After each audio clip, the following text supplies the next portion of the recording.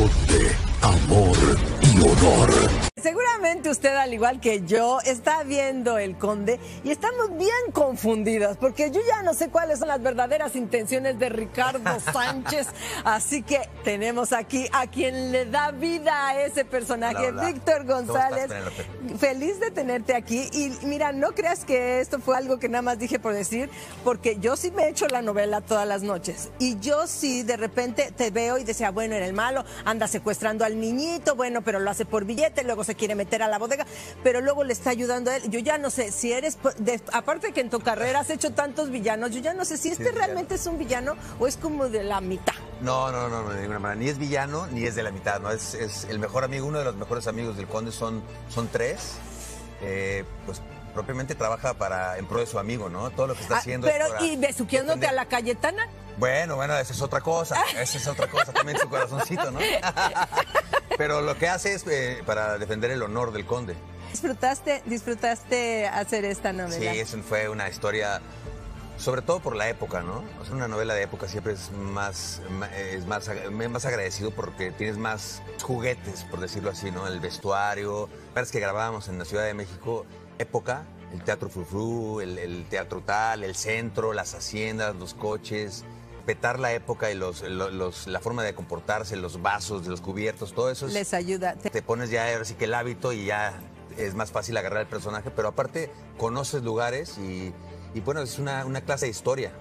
Que yo escuché una de tus entrevistas en las que decías que has visto personajes que hiciste hace 20 años y que ahora dices, ay, este le hubiera puesto algo diferente.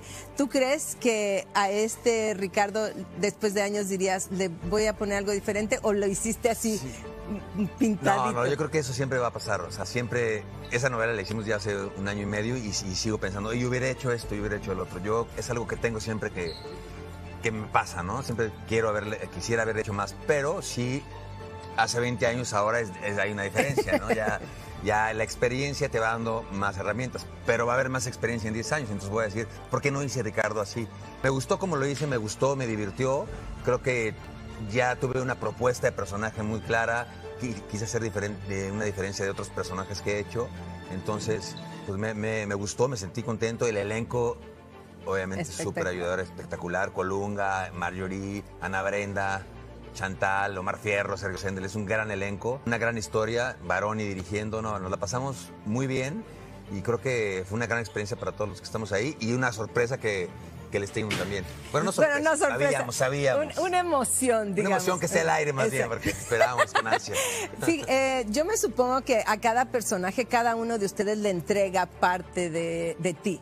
Tiene que ser, por más que trates de crear otro, al- algún regalito le das. ¿Le diste, ¿Qué regalito dirías mira, que le diste a Ricardo? Pues siempre hay algo de, de- de- de uno en el personaje, pero yo siempre trato de construirlos desde, desde lo contrario, ¿no? Pensando, para poderlo yo ver de fuera y verlo de, de frente, lo construyo como si fuera totalmente distinto a mí. Obviamente ya con el, con el proceso, pues va teniendo cosas de mí, ¿no? Que es, pues también tengo mi corazoncito también, ¿no? También ando buscando, este, Eh, también... le pedaleas las bicicletas amigo. a tus amigos. Pues no, no, esa sí no, esa sí es mi ley número uno. con las viejas, con las mujeres de mis amigos no. Son hombres para mí. Bueno, pues mira, de todas maneras te vas a quedar aquí con nosotros, vamos a seguir platicando. Tenemos aquí también varios realities que espero a ver si luego te avientas y andas en otros realities aquí en Telemundo, pero por lo menos Yo aquí con nosotros sí te quedas. Ahí está, ya dijiste.